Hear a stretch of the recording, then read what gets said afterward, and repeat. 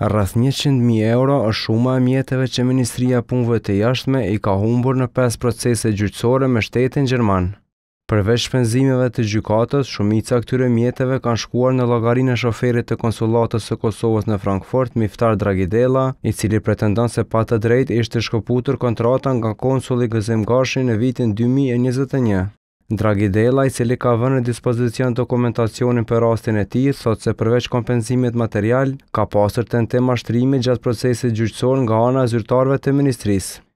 Një proces gjyqësor ishte planifikuar të mbahej më 13 gusht të këtij viti, por pasi u konstatua se deklarata nën betim e zëvendësit të sekretarit Behar Isma ishte e pavërtetë, gjykimi nuk u mbajt fare. Deklarata e datës njëzet e katër janar dy mijë e njëzet e katër e dorëzuar nga i pandehuri është nënshkruar edhe me shtesën shqip për. Shtesa do të thotë në emër të. Për rrjedhojë dëshmia nuk është nënshkruar nga deklaruesi zoti Behar Isma. Nënshkrimi në deklaratën nën betim të paraqitur nuk është gjithashtu nënshkrimi i zotit Behar Isma. Për këtë arsye janë plotësuar dukshëm kushtet për mashtrim të procesit. E Isma i kishte shkruar gjykatës gjermane se asnjëherë nuk ka arritur vendimi në adresë të ministrisë.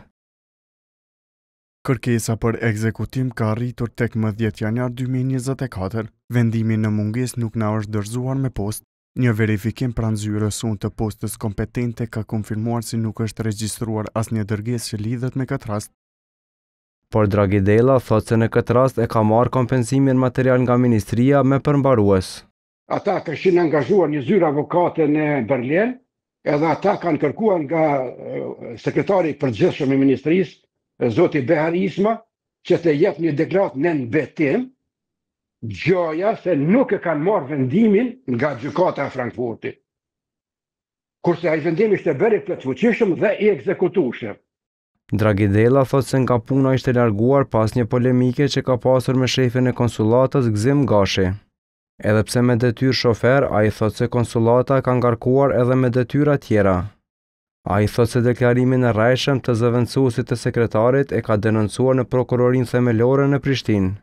Denoncim ka bërë edhe ndaj ministres së jashtme Donika Gërvalla si dhe ambasadorit të Gjermanisë Faruk Ajeti për siç ka thënë moslajmërim të veprës penale. E në Ministrinë e Jashtme thanë se ambasada në Gjermani si dhe akterët e përfshirë në rast janë duke përgatitur përgjigjet dhe do t'i përcjellin gjatë ditës, por deri në tetëmbëdhjetë e tridhjetë ato nuk u përcollën.